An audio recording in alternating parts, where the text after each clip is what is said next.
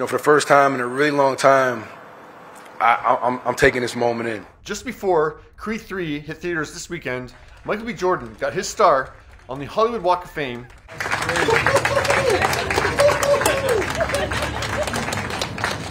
I don't know what to do now. Thanks.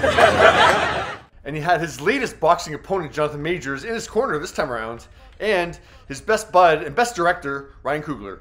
I can talk about this guy all day. Um, it's amazing to be here uh, with, with, Mike. Ryan and Michael met about a decade ago when they had a first meeting to discuss what would become their first collaboration and Ryan's first feature-length film, Fruitvale Station, in 2013. I remember thinking, man, this, this, I hope this dude wants to do this movie because it feels like he's going places, man. Well, they were both going major places and getting there together. So two years later, they collaborated on Creed. And how did he did, man? He killed it. Killed it on Creed. Then came Black Panther in 2018, and when Ryan hits that part of his speech, you can see both Ryan and Michael come a bit more somber. And um, and then it came time for, for, for Black Panther. You know, um, got to work with our incredible, our incredible brother Chadwick, who I feel like is is is, is uh is smiling on us right now. Um, getting to watch them battle every day. Watch this next moment really closely. I found it a really powerful one. Um, so yeah, obviously both guys are a little bit choked up here and fighting some emotion. And watch Michael uh, looking at Ryan. Like he can't even see Ryan's face, but Michael just realizes at a certain point that Ryan just needs a little bit of support. Getting to watch them battle every day, I knew I was looking at something special. I, I, I felt like um, I felt like I was looking at like Denzel and, and, and Will or or, or or or Wesley in their primes and in the same movie in a way that we never got to see them do it. You know, back at that time. And uh, man, those guys pushed themselves every day. And uh, and I knew it was gonna connect. You know, I just didn't know how much.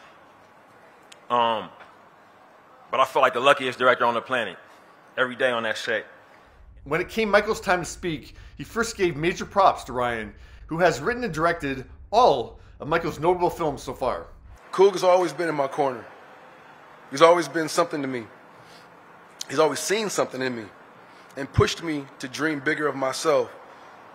So to say I appreciate you, Ryan, would be an understatement. My gratitude to you for believing in me and for empowering me with this church, with this third chapter of Creed is never ending. And while Michael acknowledged the impact of working alongside Chadwick, that fire inside of me like led to opportunities on All My Children, The Wire, Friday Night Lights.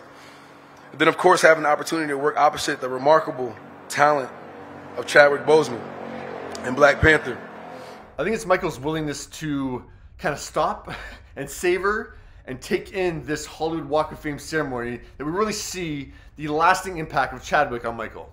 The people that really know me, I often say, man, I don't deserve this. You know, it seems very, um, I don't know. When you're constantly on the on a journey, I very rarely stop and like smell the roses and like take in moments. I'm always moving on to the next thing.